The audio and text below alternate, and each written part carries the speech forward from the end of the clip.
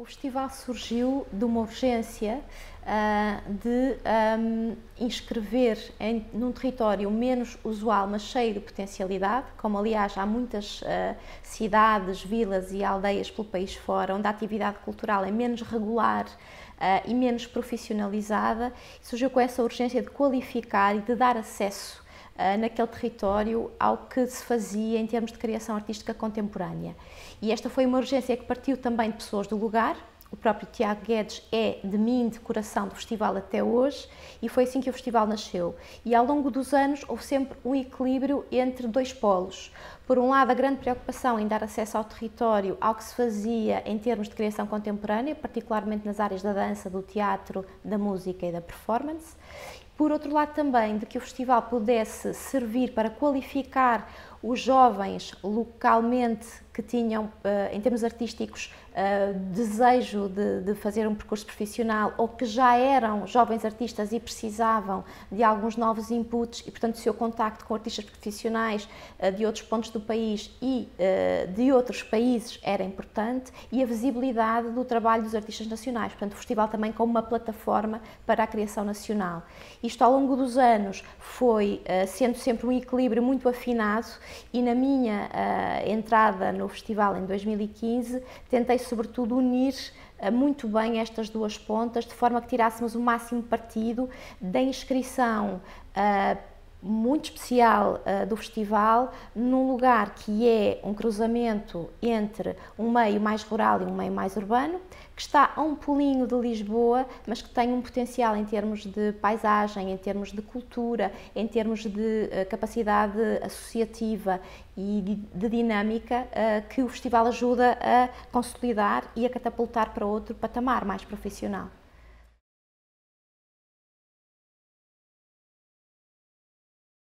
Posso. Um, nós nunca começamos o festival uh, pela definição de um tema a priori. Nós começamos o festival por convidar alguns artistas cujos projetos, forma de trabalhar, uh, conceitos que põem uh, em cena sejam relevantes para aquilo que nos parece o panorama no momento em que estamos a programar, sempre num diálogo com o território. E, portanto, num primeiro momento, eu fiz um convite a um núcleo de artistas que, no caso, Ana Borralho João Galante, por exemplo, ou o Alessandro Charroni, que apresentará em Portugal pela primeira vez o projeto Folks, tinham um, um potencial de relação com o imaginário local a níveis diferentes muito grande e, portanto, esta ideia de, de, do teatro, do lugar da apresentação destes objetos artísticos como um lugar, um lugar de troca, um lugar de partilha era importante, a ideia da transação. Mas também numa atitude crítica, Uh, quisemos, e fomos com isto juntando o puzzle, que é o programa do festival no fundo, uh, trazer outros projetos, outras propostas que pudessem remeter para aquilo que nos parece que é o perfil de transação que nos interessa verdadeiramente numa programação de um festival desta natureza no nosso país hoje e naquele lugar em particular, que é um festival que se afasta ou que procura afastar a criação artística de uma lógica meramente de produção para um mercado e muito mais uma programação virada para uma ideia de encontro. Portanto, a transação como partilha, com possibilidade de construção em diálogo e não tanto uma transação no sentido de se inscrever num mercado, a mediatizar apenas, mas uh, uma troca, uma transação que tivesse esse uh, potencial transformador. E daí as transações, transformações, são essas que nos interessam na nossa programação.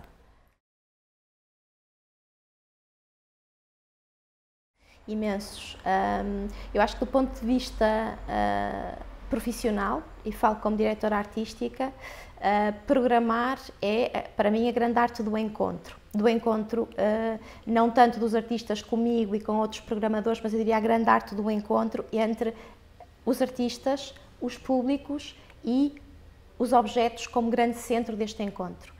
Um, programar ali requer uma grande atenção ao que é a prática cultural daquelas pessoas. Nós temos públicos de todas as idades e nós temos um público que, se é também especializado, é, na sua maioria, um público interessado, mas não especializado. Estou a falar de pessoas, de um público sénior, por exemplo, que segue o festival há muito tempo e quase que é, foi-se afinando e especializando fruto uh, do contacto com o festival. Um, e temos um público jovem e adulto, estudantes, professores, curiosos, que tem vindo a crescer progressivamente. A nossa missão é essencialmente esta, dar acesso a estas pessoas. É um grande desafio porque, como com exceção do Teatro Virgínia em Torres Novas e com alguma atividade, mas não totalmente regular, no Teatro São Pedro em Alcanena, não há naquela região, e como não há noutras regiões do interior do país, uma programação regular bastante diversificada e bastante em quantidade para servir estas populações. Esse é o primeiro desafio, é encontrar uma forma de um evento que acontece só uma vez por ano cumprir este desígnio, simultaneamente cumprindo este outro desígnio que é apoiar a criação artística e trazer então o que é a criação uh, contemporânea para aquele lugar. Por outro lado, ao nível dos parceiros, os desafios são imensos, porque como deves imaginar, temos parceiros de, com todo o tipo uh, de background, com todo o tipo de espectro de atividade, desde a coletividade mais informal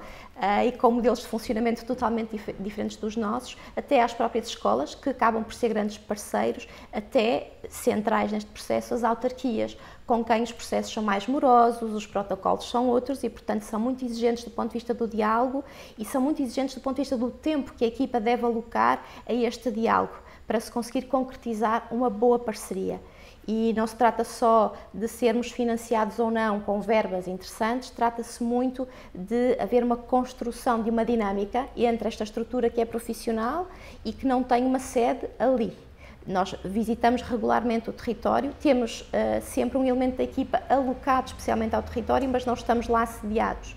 Uh, e, portanto, é preciso haver todo um cuidado e todo um tempo para que haja um crescimento de cumplicidade, um crescimento de confiança, um crescimento de uh, complementaridade nos recursos que podemos oferecer e que as autarquias nos podem oferecer. E, e, são às vezes dificuldades, mas eu diria que complexidade é a palavra que melhor define esta, esta teia que torna possível fazer-se um festival desta natureza naquele território.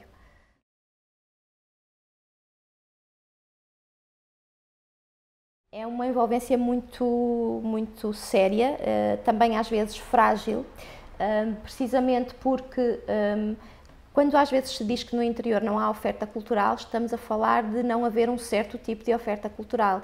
Naturalmente, uh, e em, zonas diferentes, isto terá dinâmicas diferentes, as pessoas têm uma vida cultural. Ali, por exemplo, há uma. Um, tradição associativa forte. E há muitas pessoas, e eu diria até que aquelas que são mais próximas do festival, que são pessoas muito ocupadas, fazem parte de várias coletividades, às vezes não só de uma, e têm uh, um dia a dia que passa também por uh, trabalharem às vezes longe do sítio onde vivem. Portanto, nós temos que negociar uh, o tempo das pessoas e negociamos-lo através de uh, encontros preparatórios sobre o que é que as pessoas gostariam de encontrar no festival do ponto de vista dos conteúdos, do ponto de vista das linguagens, do ponto de vista uh, da localização do ponto de encontro, do ponto de vista da dinâmica, do ponto de vista um, do, do, grau de envolvimento, por exemplo, porque eh, desde o início o festival teve esta característica de alojar uma grande parte dos artistas em casas de pessoas dali, sobretudo em Mind, mas também já à volta, agora em Alcanena, eh, no Malhô, no Covão do Coelho, na Serra de Santo António. Esta, eh, esta parceria de um para um, com cada casa, com cada família, é fundamental e faz parte do ADN do festival. Uh, e depois há outras, as pessoas envolvem-se no voluntariado, envolvem-se na comunicação. Houve momentos em que já se envolveram no ponto de encontro, uh, na confecção de refeições, uh, na distribuição de material. Um, há imensas dimensões do festival que não seriam cumpridas sem um envolvimento direto desta população. Para além de como sabes, haver uma tradição na programação do festival de se incluírem projetos de participação de eh, pessoas da comunidade local em vários dos espetáculos.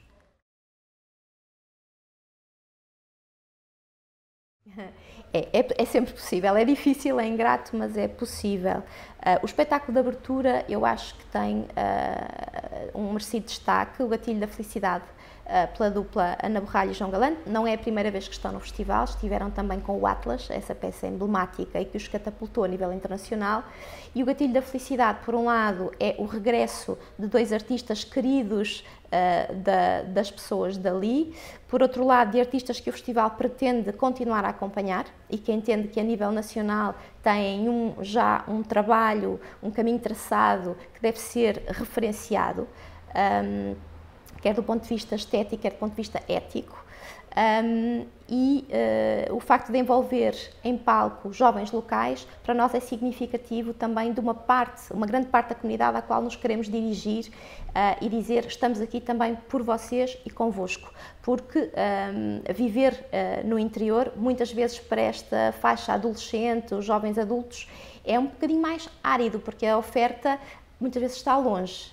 Uh, e, portanto, uh, nós queremos criar um uh, gatilho de possibilidade e este gatilho da felicidade é emblemático disso. Portanto, é o grande destaque para mim. Mas há outros que gostaria de referir, obviamente. Por exemplo, o convite ao Teatro do Vestido para apresentar o Viajantes Solitários numa zona que é também uma grande força industrial e um grande entreposto de passagem é, é, interessante e sei que vai falar a muitas pessoas daquela região. O facto de termos uh, a apresentação no cartaz da peça Folks do Alessandro Charroni, que é uma peça que parte uh, de um repertório tradicional do Schuplatter, uma dança da Bavária, e que numa zona onde o fandango é tão forte também e é uma dança tão energética, tão, uh, tão emblemática daquela região, e este encontro para nós também vai ser, uh, vai ser uma. temos uma elevada expectativa sobre ele. E se calhar destacar uh, uma, um pequeno espetáculo da Margarida Mestre, uma balada, mais porque é o regresso ao fim de três anos da programação infantil ao festival. E esta é uma grande expectativa da população local, precisamente por um motivo que referi anteriormente, que é não há tanta oferta regular capaz de responder muitas vezes aos anseios da população a certos níveis de programação em certas linguagens, no caso para uma faixa etária mais infantil.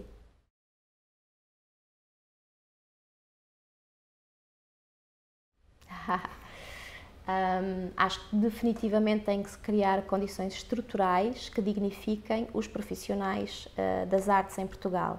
Acho que, sem dúvida nenhuma, o trabalho dos criadores portugueses é já reconhecido a nível internacional.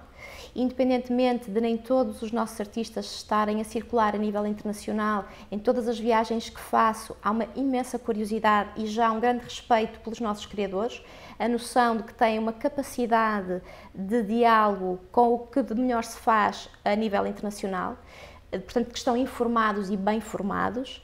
Um, também uma nota muito interessante que é uh, os programadores notam que os nossos criadores têm linguagens muito singulares e que batalham por essa singularidade. Isso é extremamente apreciado. Eu acho que definitivamente, em termos de política cultural, é preciso dar condições estruturais às estruturas independentes. E acho que quando se fala, tem-se falado muito sobre descentralização, tem-se falado muito sobre a importância do poder local. Obviamente isso é importante, mas é importante pôr, uh, dar condições para que o poder local dialogue em pé de igualdade, com respeito e com conhecimento com os profissionais que há tantos anos trabalham no terreno e que em muitas regiões conhecem melhor o tecido cultural do que os próprios autarcas e têm uma noção às vezes muito mais um, ampla do que é que pode ser pertinente para uma determinada região do que os próprios autarcas. E eu acho que o nosso Ministério da Cultura deve tomar isto em consideração e apurar os mecanismos de diálogo entre o poder local e as estruturas independentes, procurando sempre, acima de tudo, a independência da criação artística, a independência do pensamento e a independência das programações, que não podem servir, em caso algum, de bandeira política.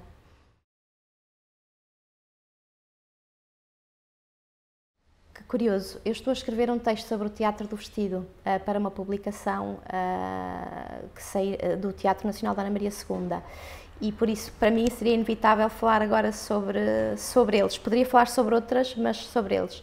A, a obra no conjunto do Teatro do Vestido é das que mais me toca a, nível nacional e ultrapassa largamente o campo do teatro.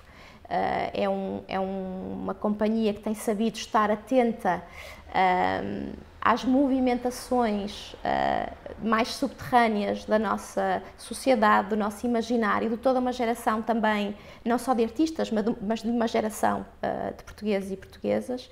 E, portanto, é uma obra que me move uh, profundamente, do ponto de vista artístico, do ponto de vista ético, do ponto de vista político, do ponto de vista social.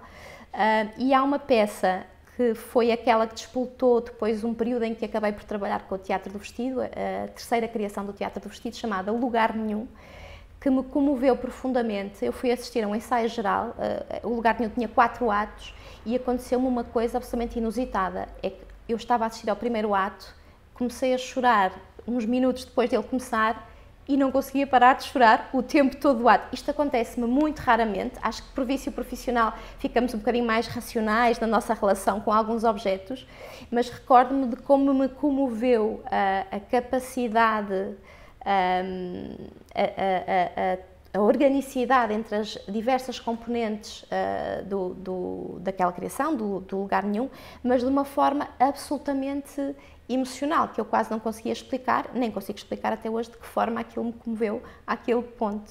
E, portanto, sim, lugar nenhum do Teatro do Vestido, uma peça bem antiguinha. Muito obrigado, Elizabeth. Obrigada, Pedro.